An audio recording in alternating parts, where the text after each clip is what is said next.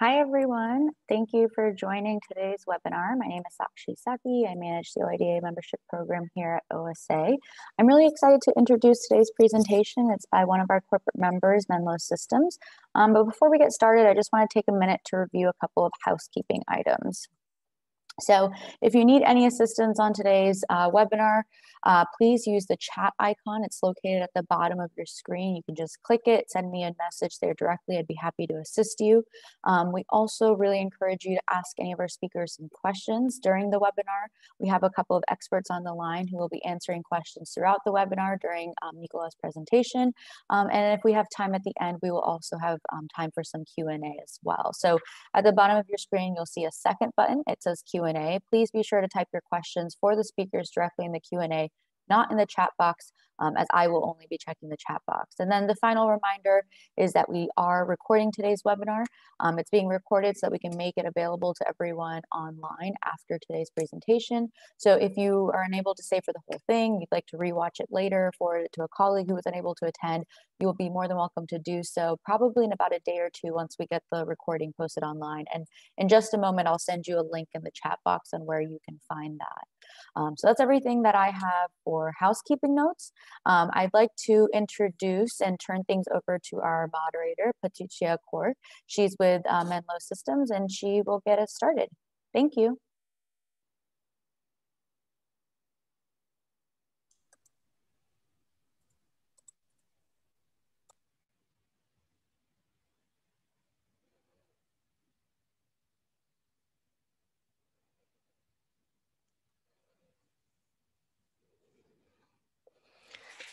Hello again, everyone. Welcome to the second part of our webinar mini-series on high precision metrology. Thank you, Sakshi, for introducing us, and thank you to the OSA for hosting us. Let me br briefly introduce who we are and what we do. Menlo Systems was founded nearly 20 years ago as a spin-off company from the Max Planck Institute of Quantum Optics in Garching, which is near Munich we are developing and manufacturing lasers and laser stabilization for high precision metrology applications. Our company is known for the optical frequency comb technology, which Professor Hänsch, our co-founder, has received the Nobel Prize for in 2005. Our headquarters are in the west of Munich, in southern Germany, and we hold offices in the US and in China. We serve our customers worldwide with applications in science and in industry. Our main product line are optical frequency combs, which are unique in terms of stability, accuracy, and reliability. Next in the line are frequency stabilized lasers, which will be the topic of today's webinar. Um, they provide sub-hertz line width at nearly any wavelength. We combine them with our frequency combs into complete systems for quantum technology. Our further product lines are solutions for terahertz time domain spectroscopy, as well as systems for timing distribution in large facilities. We also offer femtosecond fiber lasers as standalone devices. We use our patented Figure 9 mode locking technology to ensure highest stability and low noise performance.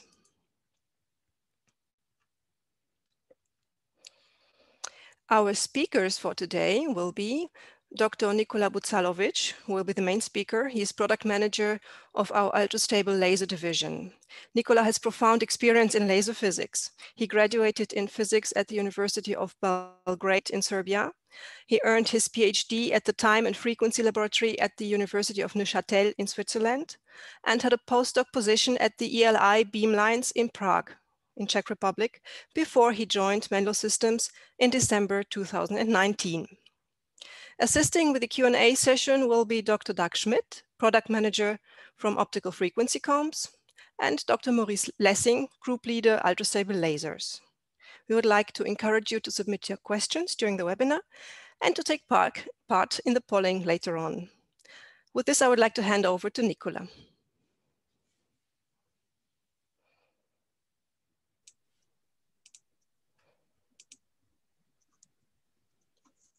Uh, hello, everybody. I would like to thank uh, Sakshi and Patricia for, for their assistance and introductions. And um, uh, our second part of, of our mini webinar series is today uh, named The Physics and the Techniques of Laser Stabilization. Um, previously, we were speaking about more theoretically about the general, uh, general time and frequency domain uh, language and techniques. And now we are going to go more deeper into what's happening uh, inside the the reference cavity and uh, in the process of laser stabilization. So my today's talk has um, uh, um, the first part, just a very quick review of, um, of things that we touched the last time as an introduction is some kind of connection. So we don't jump directly to the, to the new, to the new stuff.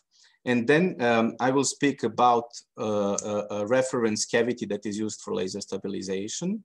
And then uh, I will uh, uh use the opportunity to present a little bit of, of uh, Menlo Systems products that are basically uh, taking um, the, the, the, results of, of many years of development and putting it into a product grade um, environment.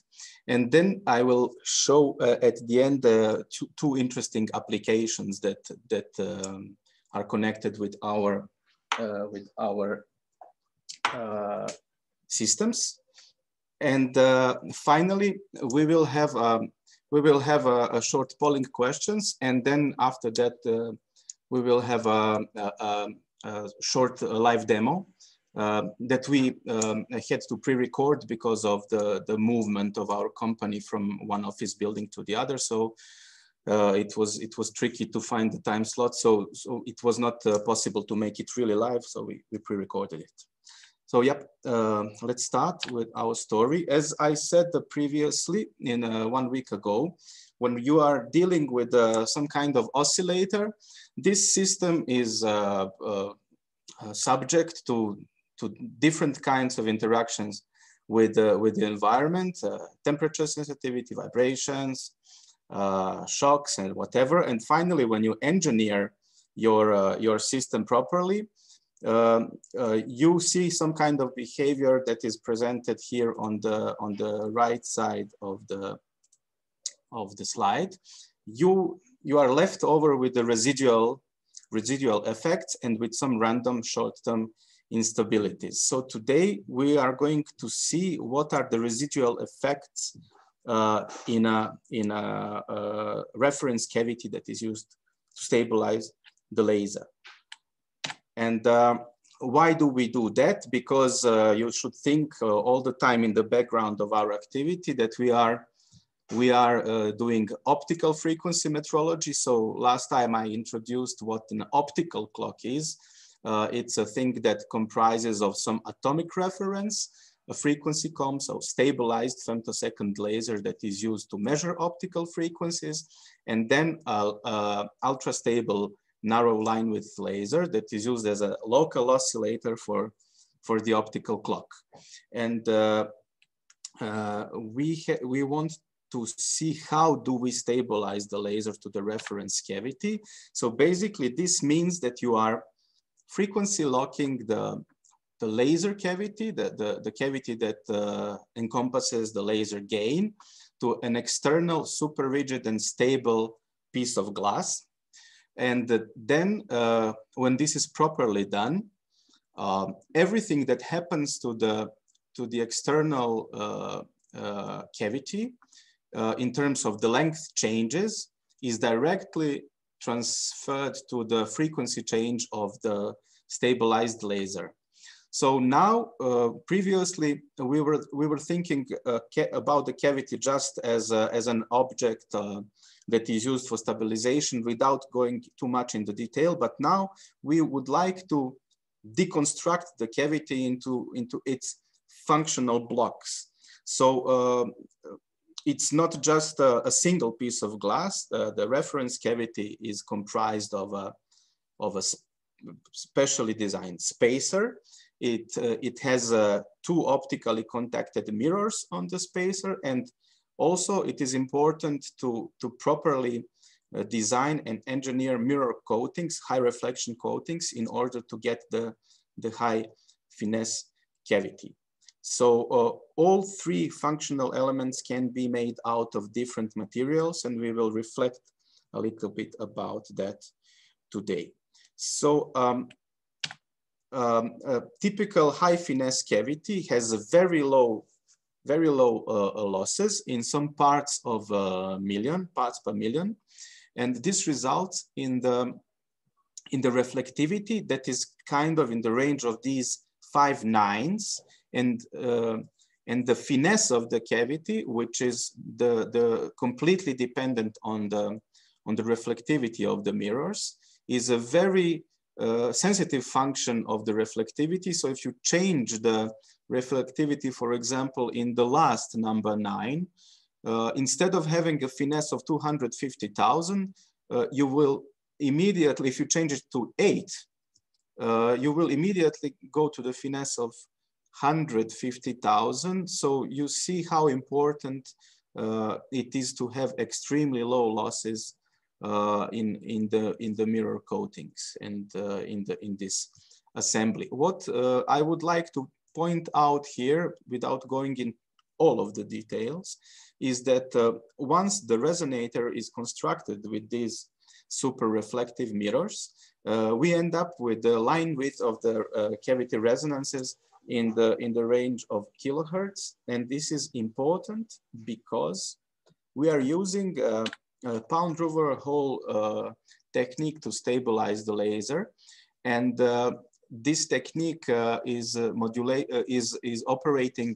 you are is operating with a modulated light that you shine into the cavity. And uh, this modulation frequency is usually in the range of some megahertz. And having a cavity that uh, has a, a, resonance line width of, of the order of kilohertz, you you can uh, intuitively immediately understand that these side bands are reflected completely from the front mirror of the cavity and uh, therefore with the, by the interaction of the reflected side bands and the leakage of the carrier that is resonant with the cavity, you get a uh, uh, um, unique uh, Pound-Drever-Hall signal which is basically your frequency discriminator, which tells you how much, uh, which, which gives a signal proportional to the, to the change in the frequency of the laser. And this factor of proportionality depends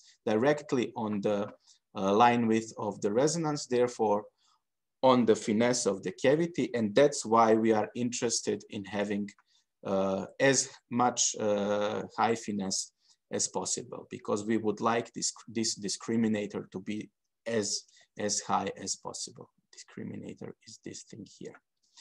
So um, now that we have uh, reviewed uh, a pound rover hole, we uh, will go more in details of what is uh, actually um, happening with the cavity and how to pre prepare the reference cavity.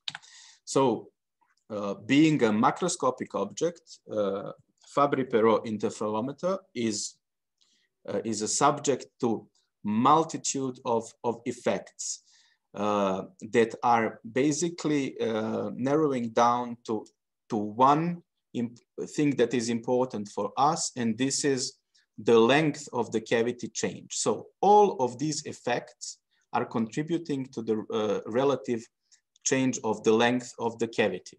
So uh, first I will speak about just uh, kind of uh, things that are uh, having uh, simpler solutions. For example, refractive index change is dependent on the pressure um, of the of the residual gas in the vacuum chamber. So in order to have a, a low changes in the optical path, uh, we need to take care about uh, reaching the pressure levels that are at the order of 10 to the minus 7 or 10 to the minus 8 millibars, which then introduce fluctuation in the optical length change uh, of the order of uh, 10 to the minus 16, which are sufficient for the level of stability that we want to reach. For those of you who might have not been around uh, uh, previous time, uh, number of about uh, 10 to the minus 15 should should resonate in your mind. This is kind of the this is kind of the range of stability that we are uh, uh, aiming at operating at. So from mid 10 to the minus 16 to mid 10 to the minus 15. So we want our cavity length changes to uh, be in that range or lower in order to not deteriorate the performance of our laser that should follow the cavity. So uh, then uh, again, of course, we have um, another effect, which is the aging of the material that is used to make the, the spacer of the cavity, for example. So without going in too much of the exotic details, uh, our cavities are using the ultra low expansion glass it's a special type of, of glass uh, based on, I think, uh, titanium and silicium oxide. And uh, um, this, uh, this type of material, when it's, uh, when it's new, it has a, a little bit higher uh, rate of recrystallization and therefore induces a higher drift in the cavity. And uh, when it ages and uh, when it's old, it reaches this level of uh, something like 330 millihertz per second. And this is, if you remember plots in Allan deviation from the last talk, this is seen as the long-term drift in the, in the frequency stability. So uh, uh, this effect is uh, something like five times stronger uh, in, in new systems that we produce. But as the time goes by, it exponentially decays and, it, and finally after some years, it reaches this level. Then uh, the next uh, kind of uh, simple, simple thing to deal with is the acoustic noise. Uh, basically, uh, some kilohertz level vibration from, from 20 hertz to some kilohertz or 10 of tens of kilohertz uh, are very easily damped by, by simply simply putting the, the reference cavity enclosure inside of the additional um, uh, specially designed acoustic isolation box. So that's not a big deal, but um, uh, it should be done. And then uh, we are reaching the point of, um, of um, more complicated stuff, which is vibrational sensitivity of the cavity. So uh, uh, basically, uh, nothing is super rigid and absolute in nature, and especially not this macroscopic piece of glass. So therefore, this object has certain sensitivity to acceleration uh, in each direction, X, Y, and Z. So in order to deal with that, um, it is important to, to have an active, active uh, vibration isolation within the system. And also it is possible to play with the design of the, of the spacer, which we will see in a couple of slides, in order to make it immune to, to uh, uh, vibrations. Yeah. Uh, then uh, further, we have macroscopic kind of uh, thermal effects because the every object, every every object is uh, subject to, to thermal expansion or shrinking. And uh, as I mentioned, the, uh, the, the uh, material of choice uh, for, for our activity is this ULE, ultra low expansion glass, which um, which uh, has um, uh, zero expansion coefficient or close to zero expansion coefficient at room temperature, and I will also show that. And uh, of course, to minimize the length of the cavity changes due to the temperature fluctuation, we have to have uh, either passive uh, or active uh, temperature shielding of the cavity. And then finally, I think that all of the mentioned stuff can be um, can be, uh, let's say, called uh, engineering part, but then we are reaching a, a thermal effects on a micro scale, which is a fundamental limit of the stability that you can reach. And it is, it is um, based on the Brownian motion in the, in the material that is used to construct the cavity. So the only thing that you can use is uh, find materials that are having lower mechanical loss and construct cavity with uh, with different uh, different components, different materials, and I will briefly briefly mention some of the of the possibilities. But this is this basically uh, Brownian motion. So everything is possible to deal with in some kind of engineering way, except of Brownian mo uh, motion that that is there to stay. So you can ba basically cool the stuff, go to cryogenic temperatures, but we are aiming at operating at room temperatures. So we will see how to deal with that and what it means. So, uh, yep.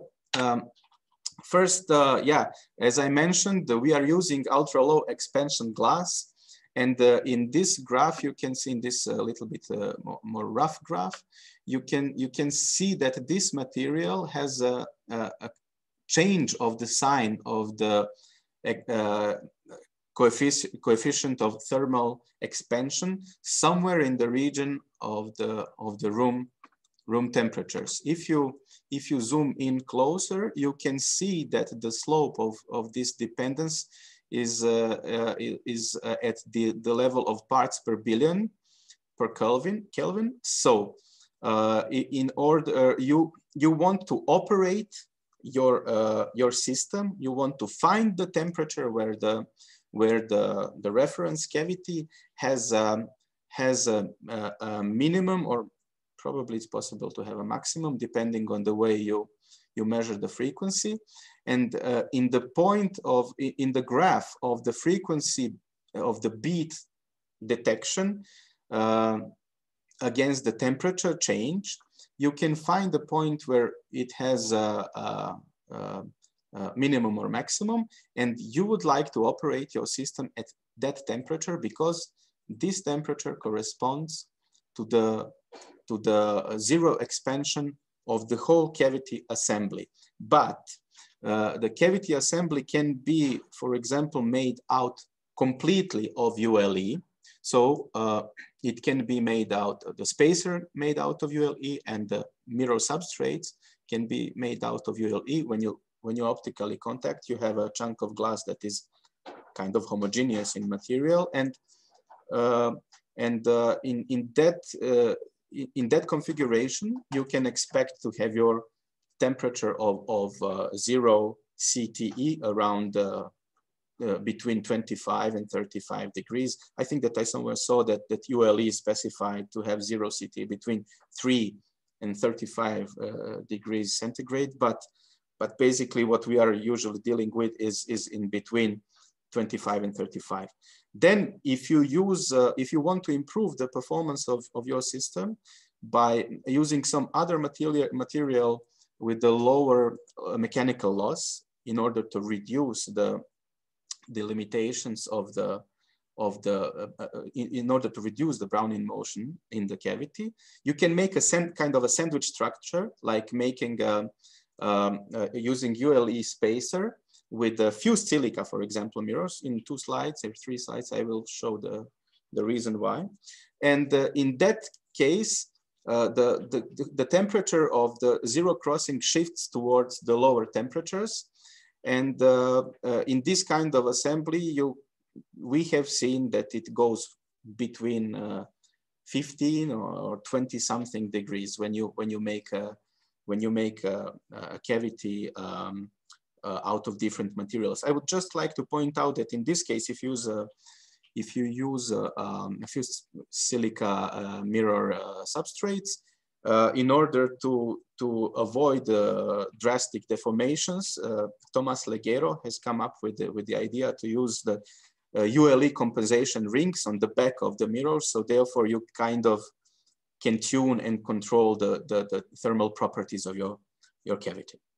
So in this case, uh, we have a, a um, we have um, a, a, graph of the dependence of such a sandwich structure cavity made out of uh, ULE plus fused silica plus compensation rings, and you can see that it's around 20 degrees. So the, further, I, I have to take care about the time.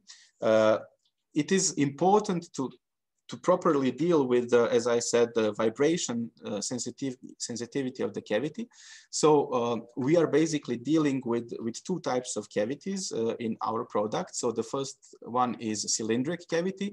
And you can see here that by uh, changing the position and the, uh, of, of, cavity mounting of support points, uh, going towards uh, more symmetric uh, mounting, you can improve the performance the, and the lower the sensitivity to, to acceleration with the factor of 100 and uh, reach the reach the the sensitivity at the level of some um, of some uh, uh, few pieces of 10 to the minus 11 per g.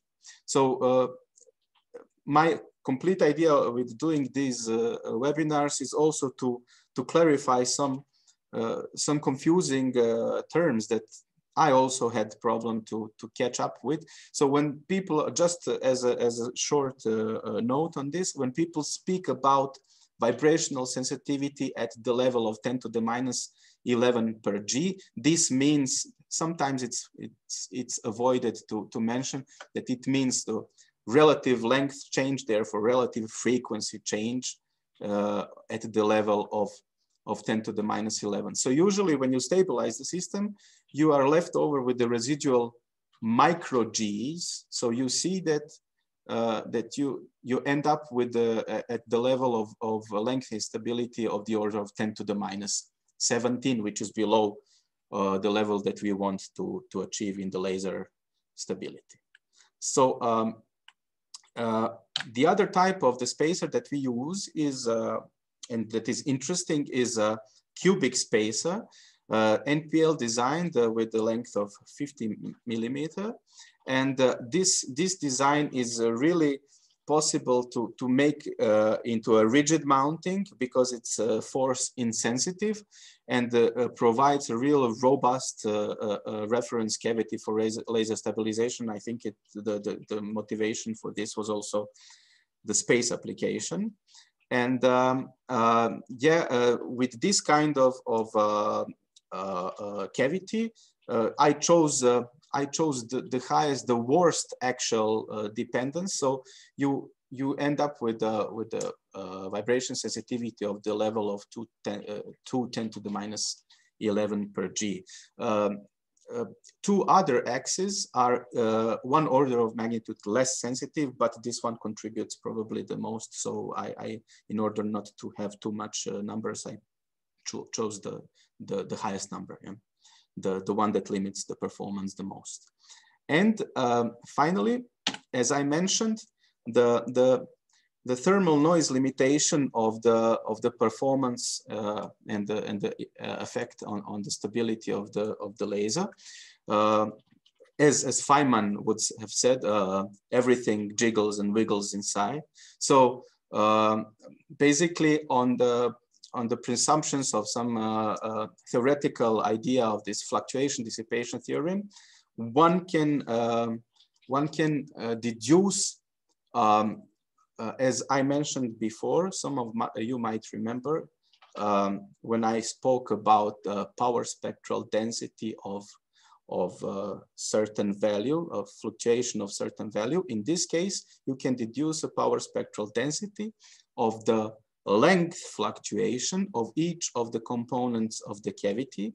And you can see that the, the, the length fluctuation of the spacer, substrate, and the coatings all contribute and all are proportional to the mechanical loss of the materials that are used. Therefore, if, you, if we want to improve the performance of our cavities, to reduce the level of, of length uh, fluctuation, the length noise, we can opt out to use some uh, materials with uh, with lower mechanical losses. And therefore I mentioned fused silica as mirror substrate.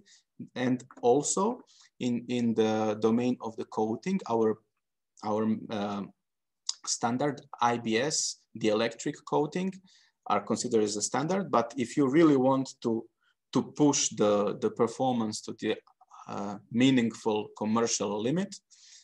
I'm not speaking about the research laboratories. Um, uh, you can use uh, crystalline coatings based on, on monocrystalline semiconductor materials and then improve the, the losses, mechanical losses in the coating. And therefore we, we play with all of this with, uh, basically we don't change the material of our spacers, but based on the user needs, we either use dielectric coatings or crystalline coatings, or we used ULE substrates or fused silica substrates for the mirrors. And uh, once you add up the contributions of all of these length uh, noise components, um, this all translates to the frequency, frequency noise.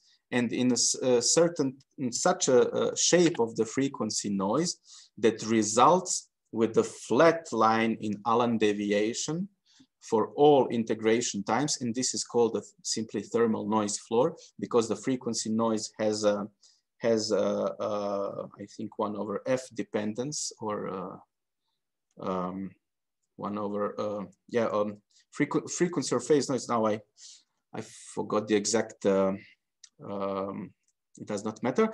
Uh, dependence of one over F translates to the to the uh, flat line in the Allan deviation. And uh, uh, here you can see uh, when you properly design and operate your laser, you are able you are able to reach basically the the thermal noise floor and uh, you cannot do better than this. So yeah, so this is the fundamental limitation of the cavity performance. Now that I have spent almost 25 minutes for this, I will switch to uh, quickly introducing you to our uh, product. And uh, first, I would like to show you how it looks like when you want to do it yourself. This is what I did. Uh, basically, uh, um, the idea was to construct an ultra-stable laser from scratch, but not from total scratch. There was all, already some uh, pre-design uh, with the first system that you can see in the background. So I built the complete system uh, uh that is closer to us. And uh, uh, you know, when you are doing it yourself, this is very far from from the level of integration that you can that you can achieve from from a company product, a corporate product, where all the things have been taken care of in, in, in order to make it reproducible and that you can really guarantee the performance and make the users happy. So uh, I would uh, I would recommend uh, rethinking uh, uh, design from scratch. Uh, maybe in some cases not fully, but we support you even in, in that way. But first, let's take a look. let's take a look and, and in our um, product selection matrix. yeah, uh, uh, this one uh, you can you can see in the slides and the whole slides concerning uh, Menlo products. You can see in the in the additional in the additional data that you will get uh, uh, uh, receive a link or either it will be on the website um, of the of the talk. So you can see that by changing by choosing the mirror substrates, mirror coatings, you can you can you can choose different level of performances in between 0.7 10 to the minus 15 and uh, 5 10 to the minus 15. So uh, our big system is a, a, a subhertz li uh, line width laser uh, uh, uh, operating with a 12 centimeter cylindrical cavity. important thing to say is that the that this system has a transportation locking mechanism uh, basically, once we set it up uh, here at Menlo Systems, we can block it, ship it, you receive it, you un unlock the transportation mechanism, and uh, you should uh, be able by a turnkey to, to have an operational laser, uh, ultra, ultra stable subhertz la laser. Um, with which comprises here of the um, of the cavity assembly of 15 height unit temperature, uh, um, um, uh, pr pressure ion pump controller, ion getter pump controller. And of course, our embedded system embedded uh, platform, which is called Synchro, which is completely modular and uh, enables you to, to configure system to your needs depending on whatever options you want to, to incorporate with your system. Um, this is uh, now evolving towards three height units with a better display, larger display of six inch, etc. So it's a constant improvement of user experience. And uh, yep, uh, so our second uh, uh, uh flagship system is ORS Cubic. And this comes in two flavors. One is rack mountable eight height unit without, um, without anti-vibration isolation. So this is the, the, the system that is at, at the, the high edge of, uh, of perform or let's say low end of performance with the 510 to the minus 15. And uh, in the rack, uh, uh, rack scale system, we use anti-vibration isolation platform. And with this kind of device, we can reach, depending on the coatings, from 0.8 to 2.5 uh, 10 to the minus 15. And what is important is that this is really, really rigidly mounted. There is no movable elements and this is super transportable and uh, uh, and uh, super small. So if you are having uh, uh, space issues in the in the laboratory, this is the option to go for. And now, um, sometimes we are fortunate enough, and there is a lot of activity in the lab that we can basically compare uh, multiple super performing systems. And so you can see our top performance that we can reach with crystalline coatings, uh, level of, uh, of the order of uh, low uh, four, uh, 10 to the minus 16. So every system is different. You can configure, you can choose the coating, you can choose the, the, the mirror substrates. And you can see that uh, in, order uh, to cover the, the, the, performance range of 10 to the minus 16, 10 to the minus 14, we can deliver uh, anything in this range, yeah. But we are quite proud on this result that we are reaching 4 10 to the minus 16. And also by, uh, by making an optical beat, you can record the phase noise. And this is the, the, the, the level of of optical phase noise that you can later use to extract, extract the microwave. And I'm going to quickly be on that. Uh, so if you want to play a little bit uh, uh, uh on your own, uh, we have also in our offer uh, standalone cavities, also spacers without contacted mirrors, spacers with contacted mirrors, and vacuum chambers with, with optically contacted cavities inside. And uh, this is also saving some of your development time, at least for the vacuum enclosure and everything. And with these, we also de uh, uh, deliver uh, in-coupling and out-coupling platforms and temperature controllers, uh, which enable you to, uh, to easily couple and observe the light in the transmission with the camera and stuff like that. So uh, I would suggest not going completely from zero in designing your laser systems, but at least considering if you want to build system around uh, uh, buying a, um, uh, a, standalone cavity, which will save you a substantial portion of, of time. And of course, you will get a, a, guaranteed performance in terms of, of, of finesse. And uh, we also have some options uh, that, that accompany our product. So in order to distribute ultra-stable laser line width, uh, we should, uh, we should take care about the fiber noise. So we deliver also uh, Doppler noise cancellation systems um, that, that take care of, the, of all the fluctuations that, that the, the fiber picks up uh, from, from the laser source up to the point of, of uh, using it.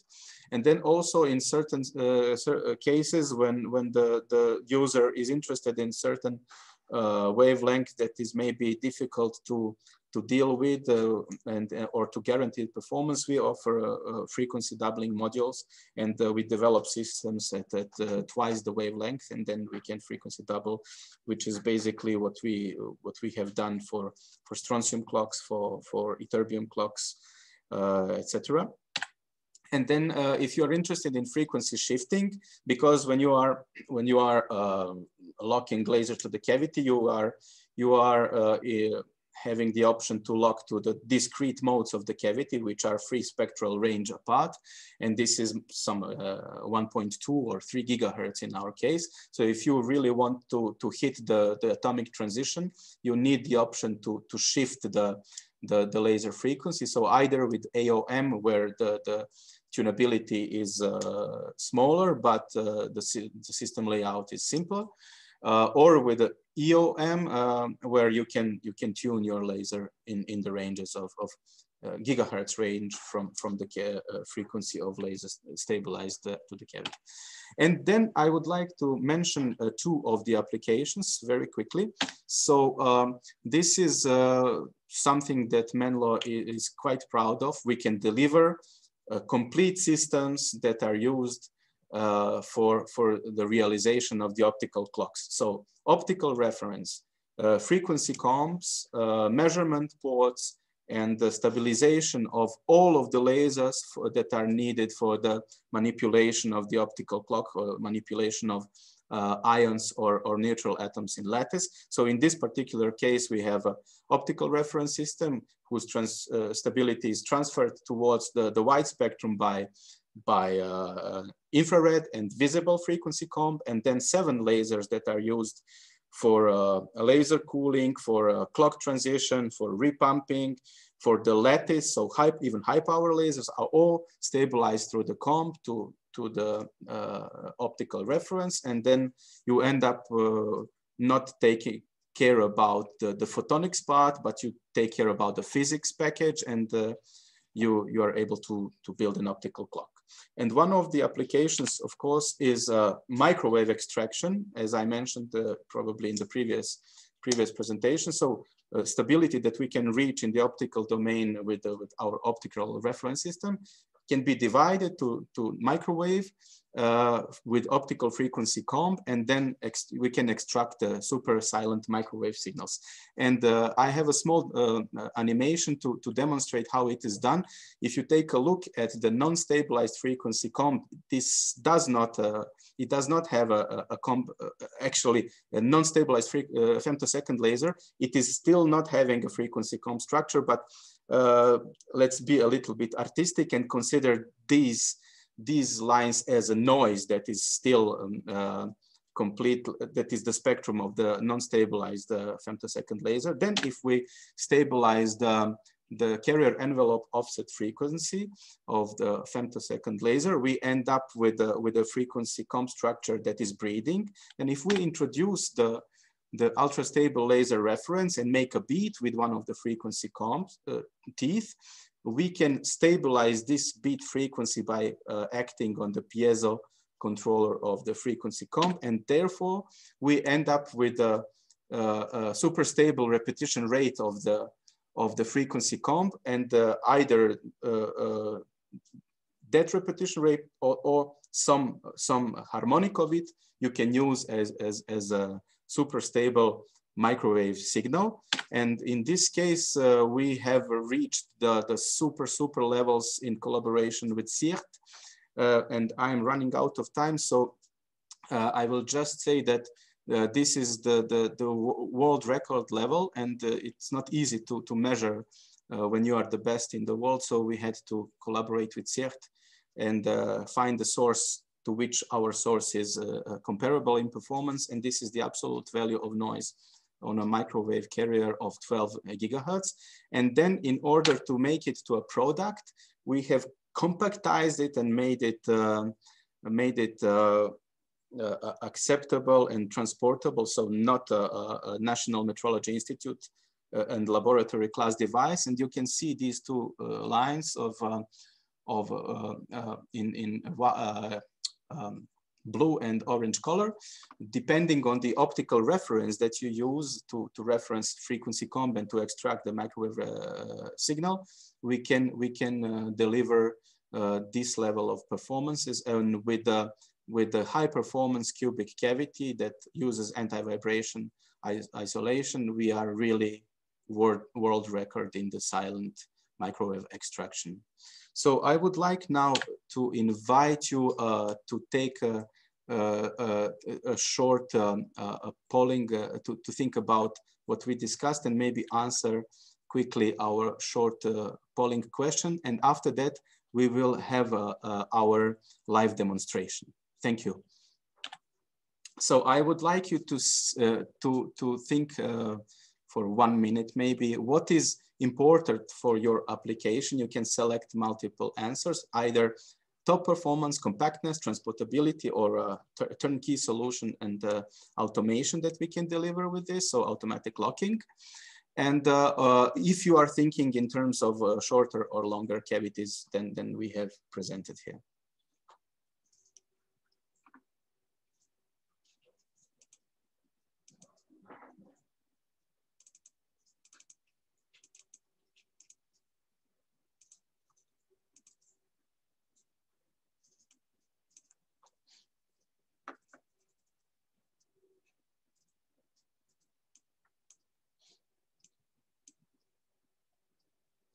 Okay, maybe a few more seconds.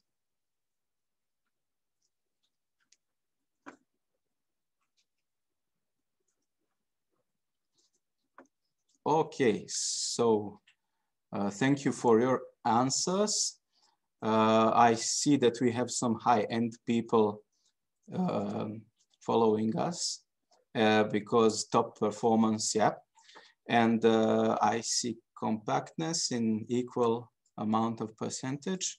Yes, this is very interesting and uh, it, this will be very useful for us to think uh, in terms of how to how to improve our systems. And also yeah shorter than five centimeters we will have some some development in in that in that domain. So uh, yeah in in next two years i think that uh, we will be working on that. So uh, thank you very much. And uh, now I would like to um, to show you a, a small, uh, uh like 17 minute uh, video of, of our demonstration, how our systems look in, in reality.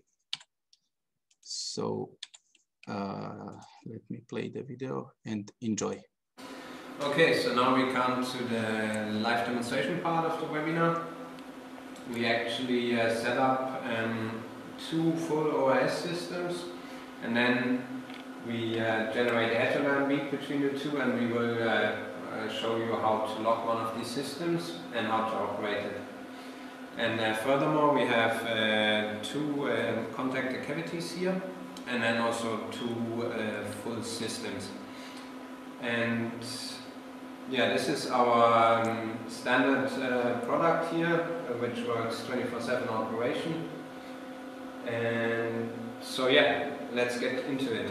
So, as you heard in the webinars, um, the, the actual cavity is at the core of this um, optical reference system.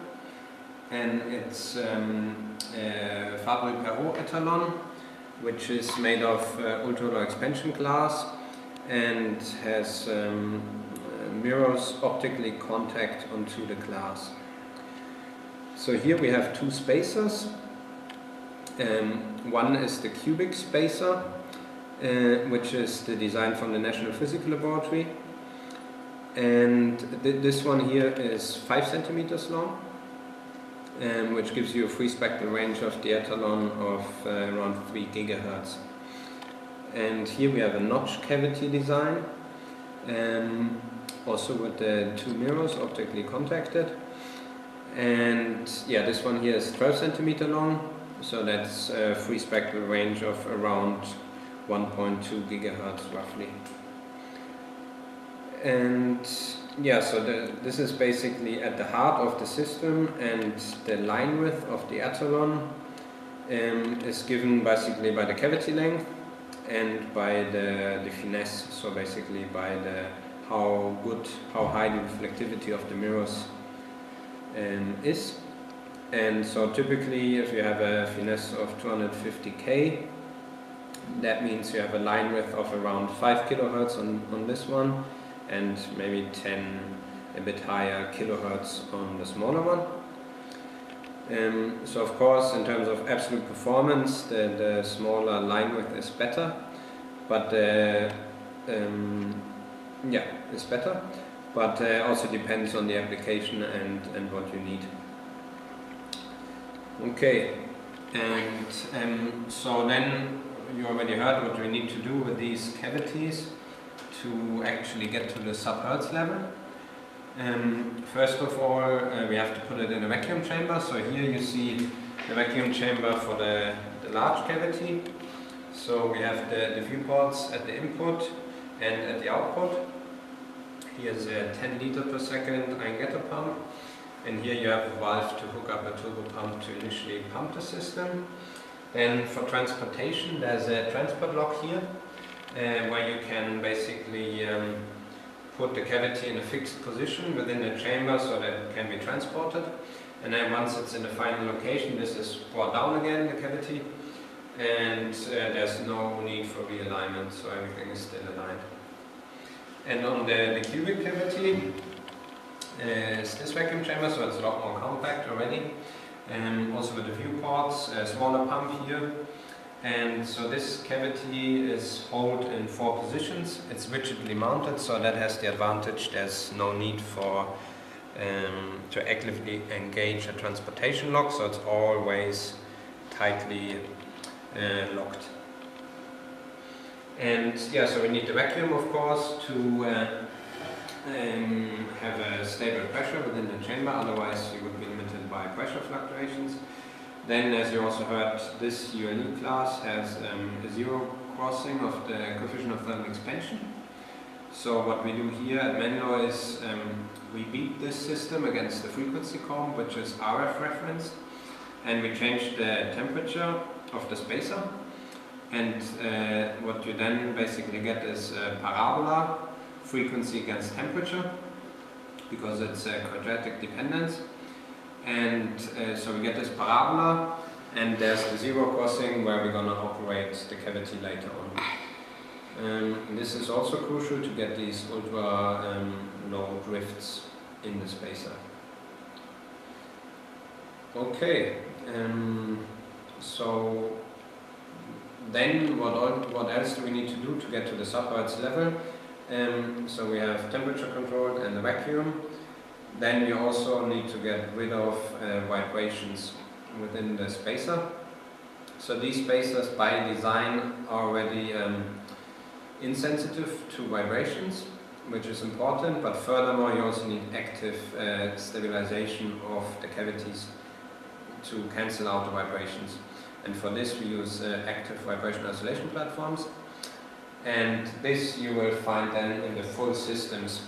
So um, here you can see we have the whole setup and within the setup at the bottom you have these vibration isolation platforms and the system rests on them and they are engaged when the system is operated.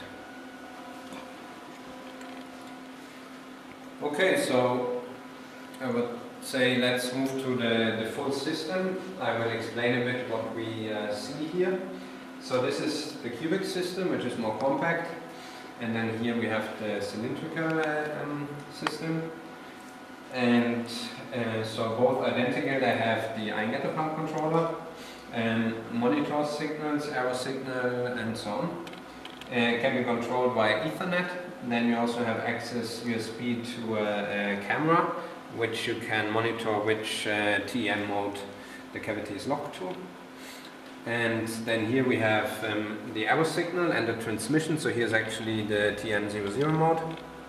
And you see currently the laser is, is scanned and you see the Pontoon error signal.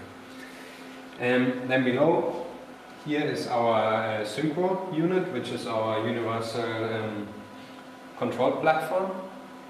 And that can be controlled via Ethernet. So here you actually see um, it's controlled via Ethernet and uh, can be remotely controlled conveniently even if you're not in a lab uh, you can lock the system and monitor everything then within the system there is an uh, MDF box which also gets rid of um, uh, acoustics, reduces the environmental noise. Then the laser sits in here, it's a Rio Planex laser, which we couple to the cavity via this fiber. And then here you got all the optics to generate the PDH error signals. So you got an EOM photodiode and just uh, some polarization optics. And yeah, then in here we have um, everything to generate the PDH signal and then also to feedback to the laser. In that case, we feedback to the current and then a slow loop to the temperature of the laser. And yeah, once you lock that, that runs for weeks and months and uh, is 24-7 operation. Okay, and then the same is true for the cubic, only that it's uh, way more compact, so you see it's roughly half the size. And of course we have even more compact systems, so it depends on your application. We also offer systems uh, that don't have the vibration isolation platform. And here uh, we offer systems that come in 8 height unit uh, rack mountable uh, systems basically.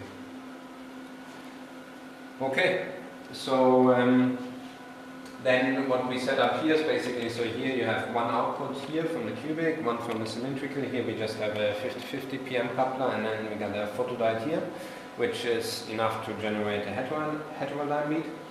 And here we have a spectrum analyzer which looks at the signal. And so here you see we have a span of 3 gigahertz. And currently because we're ramping the laser, so this is the optical beat. And because we're ramping the laser, you see this 10 hertz um, ramp on the beat. And um, so now we have one cavity with a free spectral range of 3 gigahertz and one with 1.2. So um, then you find your beat when you lock to different cavity modes somewhere below around about 600 megahertz. Okay, and we know that, uh, so this cavity is already locked and this one here is currently being ramped. That's why here we see the PDH signal. So this is the, the main mode and this is the sideband and here the pattern just repeats. And you see here the transmission photodiode signal. And what we see is that you have transmission on the sideband, but of course not on, uh, sorry, uh, on the main mode, but of course not on the sideband. And then what we want to do is now lock this cavity to the main mode. And um, so I will demonstrate this now. So what we can do is to, so first I will demonstrate here that this has an effect on the error sector. So you see here I can move the temperature and I can move the mode. And if we look on the beat, I can also do larger steps. And you see here that I can basically move away the laser from uh, the cavity mode. And I can of course come back again, which I do now. So now in about a couple of seconds the signal should come up again.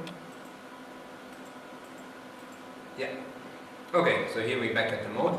And then all you have to do to lock the system is pretty much just the click of a button. So I press this integrator and then I just tune a bit the temperature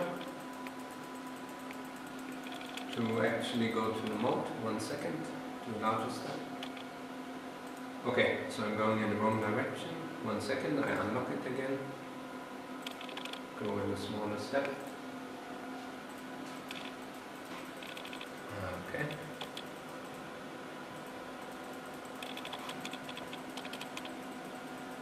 Okay, and now if I engage the lock, it should lock. Okay, yeah. So now you can see the system is locked. I can also take it out of lock again. You see the error signal. And I can lock it again. And what you see is that the transmission increases because now you have uh, light in the cavity.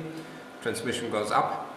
And yeah, you see that here's the in-loop error signal and this is the transmission. And you see here that now the system is basically engaged, so this controls the current, and now we can also lock the integrator, which doesn't work in touchscreen unfortunately, but like this.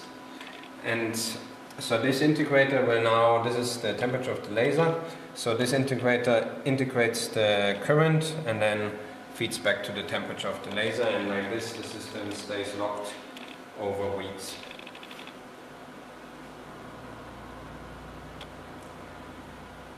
Okay, and uh, so here you see the optical beat. And this is a CW beat. So uh, we have a lot signal to noise. It's quite easy.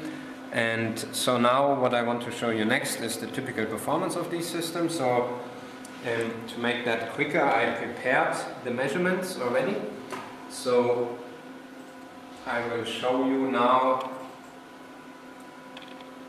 what the performance looks like. So basically, um, once you got this heterodyne beat, what you want to do is um, you can measure either the phase noise or the frequency stability. So the frequency stability we measure with an FXE counter. And for this you have to mix such a beat which is at a couple of hundred megahertz down with a synthesizer in the countable range, so somewhere below 60 megahertz say. Um, in that case we mixed it down to 10 megahertz. And then uh, here we counted with um, 0.1 second um, sampling time. And here you see we have a trace of 12,000 so that means it's um, uh, 1200 seconds. And so now what you see here is basically a linear drift and that is due to the, the shrinking of the cavity. So the cavity shrink over time and here we have a linear shrinking. You always see the difference between the two cavities, but in that case it's uh, roughly 70 millihertz per second. But this can very easily be compensated for, measured by frequency probe and then compensated for. So this we've done on the next slide. So here the linear drift is um, subtracted and then you see here, um, so here on this scale we have uh, frequency fluctuations uh, in hertz and you see over like the 1200 seconds you have a peak-to-peak -peak fluctuation of maybe 15 hertz, so on a 200 terahertz carrier. And now, um, typically you're calculating something like an uh, Allan deviation, so here it's modified Allan deviation. And so here first I calculated in the case where the linear drift is not subtracted. So what we see here at one second we are at 1.7 times 10 to minus 15, so uh, subhertz. And then what you see here is that uh, basically a linear drift kicks in at longer time scales and that's um, what I just shown you, but this can be easily compensated.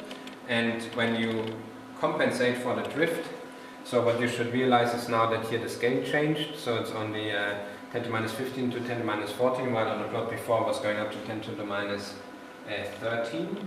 And now you say we have uh, reduced the long term, so the 100 seconds, it's much lower the fluctuations than before. And yeah, so this is a standard uh, performance that we spec, so at one second, um, depending on what exactly you need, we have uh, some options where you can have uh, better mirrors, and you can even go uh, in the mid 10 to minus 16 range. But if you use ULE mirrors, then typically we spec uh, below 2 times 10 to minus 15, for example, depending on which cavity you have. And yeah, this is the subhertz performance, uh, which you can get from these systems. And of course, um, we can not only measure the, the RDEF, but we can also um, measure the line width of the laser. So I told you the, the cavity itself has maybe 5 kilohertz but because the PDH lock has so much gain, you can actually stabilize the laser to subhertz. And here is the same heterodyne as before. So the way we did this measurement is we um, mixed it down to even lower, say 5 kilohertz. Then we have an, um, uh, an AD card that gets that sine wave. Then we run a fast FFT. Um, and basically this is the line width plot you get out. So here we have a line width of 0.6 hertz roughly. And yeah, this we measure for every system here at Menlo. And we have uh, in-house systems and we characterize every system in terms of stability and line width against our reference. Okay, so uh, this basically uh, finished the presentation and now we are uh, keen to hear questions to the setup.